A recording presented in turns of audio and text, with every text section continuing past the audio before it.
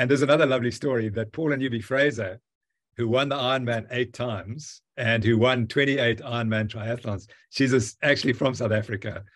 And she she was such a talent. She went to America after one year of training, came third in the Ironman the first time.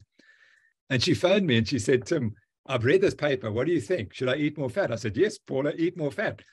But at the time, I was promoting the high carb diet. And she interpreted it as uh, she should go on a low carb diet.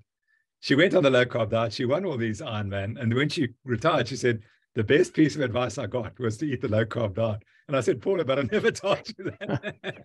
Having developed type 2 diabetes as a result of following this high carb diet and running 70 marathons or ultra marathons and still getting type 2 diabetes, I'm a bit more suspicious about the health effects of the diet of these recreational athletes became pre-diabetic when they ate the low-fat, high-carbohydrate diet. They became pre-diabetic. When they ate the high-fat, low-carbohydrate diet, their control was absolutely perfect.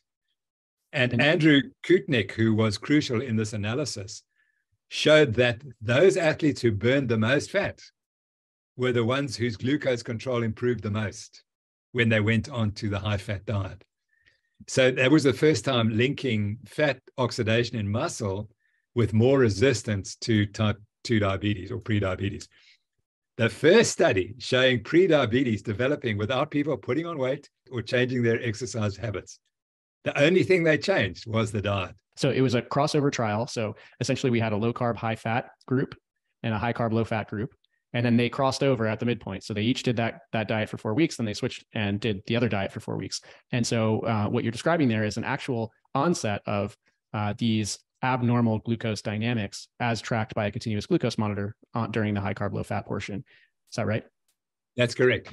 Now, do they represent all runners in the world? I would say they probably do. That 30% of runners eating this high carbohydrate diet in their 30s or 40s, if we tested them properly, we'd show that they're pre diabetic. When we started running in the 1970s, you trained really hard. And it, at the end of three hours, that was the end of the race. I mean, if you hadn't finished within three hours, there was no no one hung around to to see you finish in six or seven or eight hours. They were gone after three hours.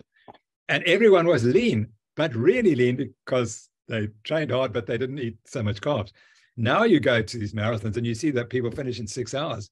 They're a metabolic disaster. You know, they're mm. carrying all this extra fat, but they believe because they're running, they're going to be healthy. And that's not true.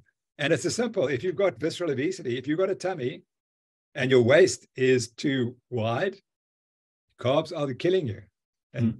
people have to understand that, you know, and the reason why I'm so vocal about this is I watched my dad die from type 2 diabetes and I couldn't help him because I didn't understand.